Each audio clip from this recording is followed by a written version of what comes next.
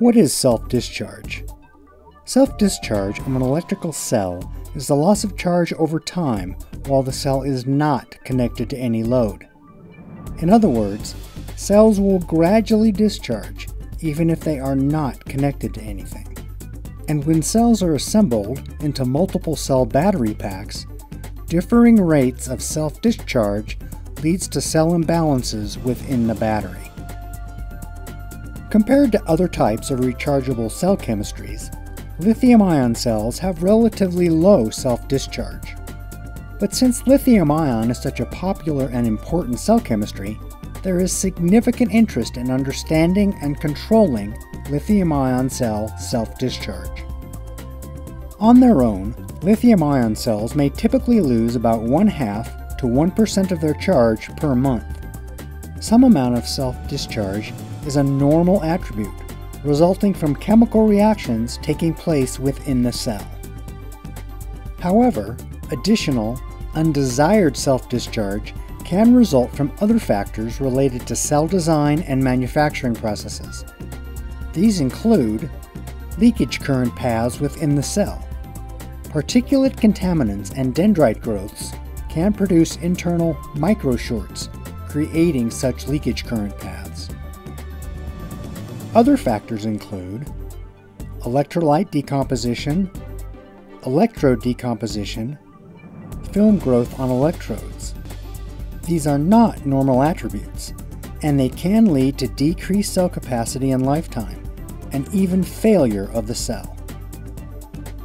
Self-discharge in lithium-ion cells can be electrically modeled using a simple cell model, as shown in this illustration. C effective is the effective capacitance of the cell, storing the cell's charge. This effective capacitance is typically hundreds or thousands of farads. R sub s is the internal or ohmic series resistance of the cell.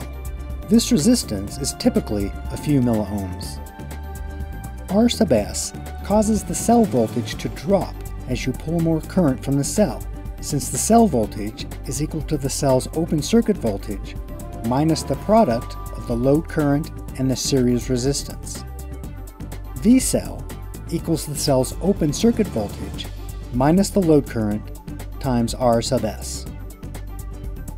The self-discharge can be modeled as a parallel resistance, R sub SD, through which the self-discharge current flows. This self-discharge resistance is typically in the range of tens or hundreds of kiloohms. When nothing is connected to the cell, an open circuit condition, C effective discharges through the high value R sub SD, generating a current, I sub D, that can range between a few microamps to a few hundred microamps, the self-discharge current. Over weeks or months, this self-discharge path depletes the stored energy in C effective, thus causing the cell voltage to drop by a readily measurable or observable amount. Because of the impact that excessive self-discharge has on cell capacity and lifetime, being able to accurately and quickly measure self-discharge is important to help understand and control possible causes of high self-discharge during the design of the cell, as well as to screen out any cells exhibiting abnormally high self-discharge as early as possible in the manufacturing process. And that's what we will discuss in our next video in this series. Thank you for joining us today. For more information on self-discharge, visit www.keysight.com slash find slash self-discharge.